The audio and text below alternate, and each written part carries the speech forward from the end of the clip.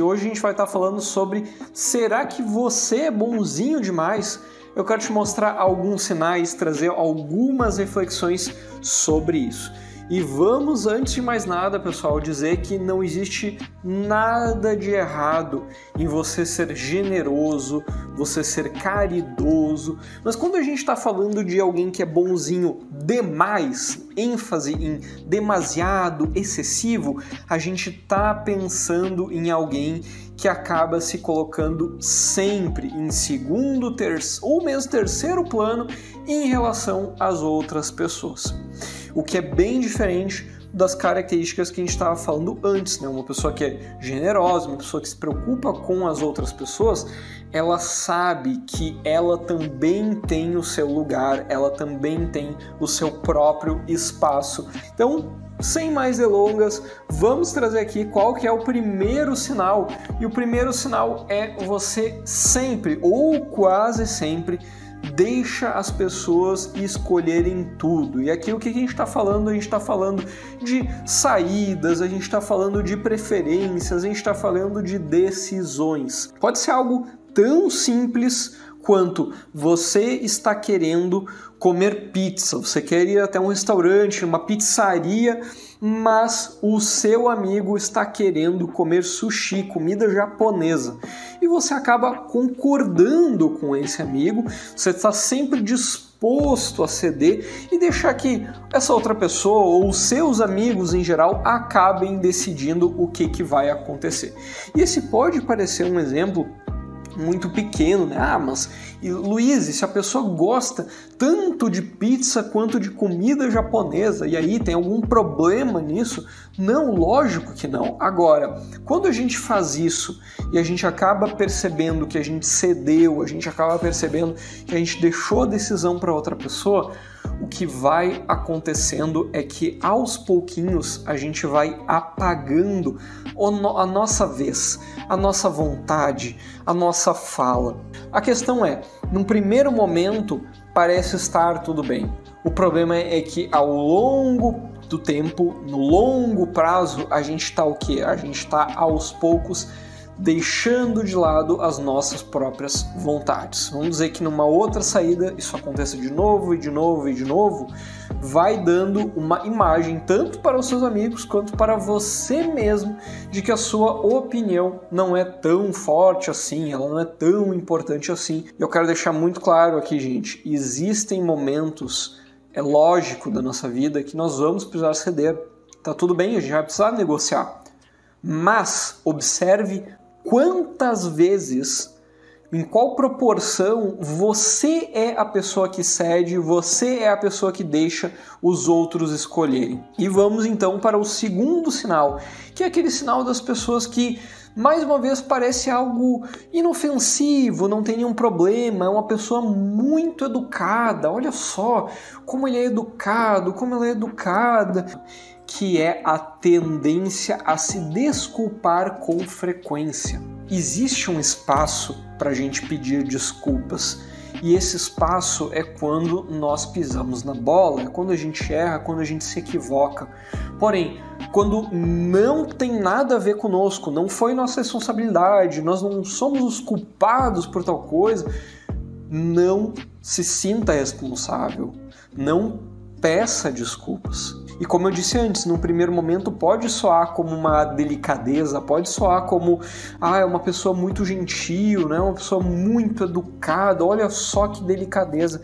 Mas isso muitas vezes está escondendo uma autoestima muito frágil, uma pessoa que está ali para sempre servir os outros, sempre estar à disposição dos outros. Maior, na maior parte das vezes, nós vamos valorizar características como a gentileza, a delicadeza, o respeito. Agora, o que a gente não pode nem mesmo valorizar na nossa vida, que é de sempre pedir desculpas de sempre estar se colocando como o culpado, a culpada daquela situação. Se você é a pessoa que pede desculpas, observa quantas vezes você está pedindo desculpas no seu dia a dia e são coisas que estavam na tua responsabilidade. Agora, se você é a pessoa que está percebendo que é um amigo próximo, é o seu namorado, é o seu marido, enfim, é alguém próximo a você que parece estar sempre pedindo desculpas, eu vou fazer uma sugestão.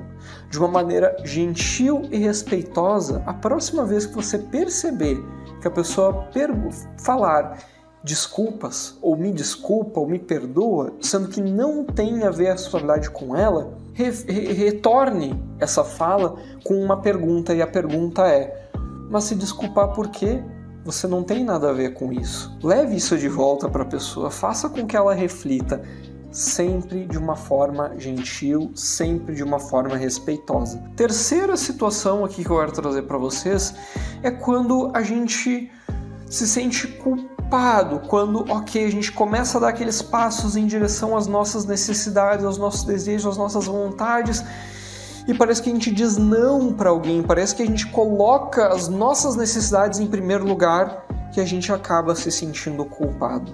Por que, que eu fiz isso? Eu acho que eu prejudiquei, eu não deveria ter feito isso. Aquela outra pessoa queria mais do que eu e assim por diante.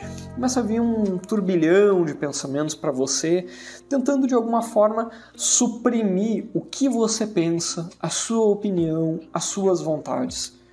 É lógico, vai existir momentos em que a gente vai precisar ceder. Agora, quando você se coloca em primeiro lugar, quando você prioriza o que você está passando, as suas necessidades, e você acaba se sentindo culpado, esse é um sinal de que talvez as coisas estejam em demasia. Mesmo quando você está precisando cuidar de si mesmo, você precisa de uma pausa, você precisa.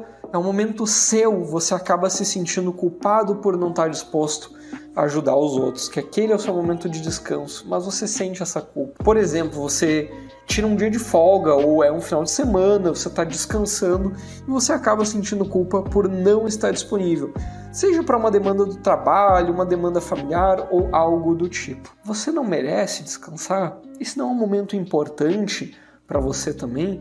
Até para que a gente possa estar bem para as outras pessoas, a gente também precisa estar bem com, com nós mesmos. E a quarta e última reflexão é para você se perguntar: quantas vezes você tem percebido que você se esforça muito para agradar a todos? E como que é para você quando você desagrada alguém? Pode ser numa situação de trabalho em que várias pessoas gostaram do projeto que você fez, da apresentação que você fez, mas tem aquela pessoa que não gostou. Como é que você lida com isso? Será que você se esforça muito para agradar todas as pessoas? E aqui a ênfase que eu quero dar é você se esforçar para agradar todas as pessoas. Gente, nós nunca vamos conseguir agradar todos. O que nós precisamos fazer é, com base naquilo que é importante para nós, nos nossos próprios princípios, no, naquilo que a gente valoriza.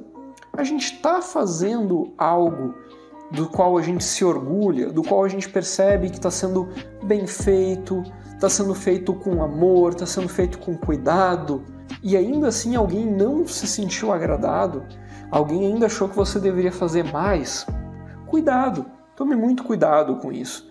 Existe uma noção de que a gente tem que sempre agradar a todos, mas essa noção acaba afetando de uma maneira muito ruim a nossa saúde mental, nos deixando ansiosos, nos deixando inseguros ao conhecer outras pessoas. Eu não estou falando aqui de relacionamento amoroso, estou falando aqui de conhecer novas pessoas e estar sempre avaliando se você está agradando, se está tudo bem, se está tudo certo muito cuidado.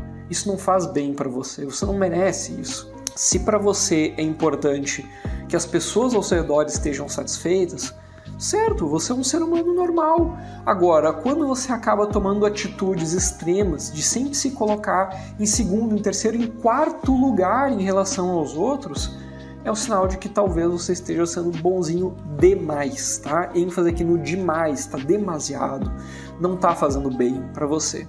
Então eu espero, pessoal, que as reflexões que eu trouxe aqui tenham sido de interesse de vocês tenham sido valiosas, de alguma forma tenham gerado uma reflexão positiva, quem sabe uma mudança de hábitos, quem sabe durante os próximos dias você vai avaliar, monitorar se realmente isso está acontecendo com você. E eu espero do fundo do meu coração que você possa, um dia após o outro, dar um passo na direção daquilo que importa para você, da sua melhor versão. E se você quiser receber dicas diárias sobre saúde mental e autocuidado, é só seguir as redes sociais da Eureka. Nós estamos presentes nas plataformas de áudio, no Instagram, TikTok, YouTube, Telegram e até mesmo no Twitter. Um grande abraço e até o próximo episódio.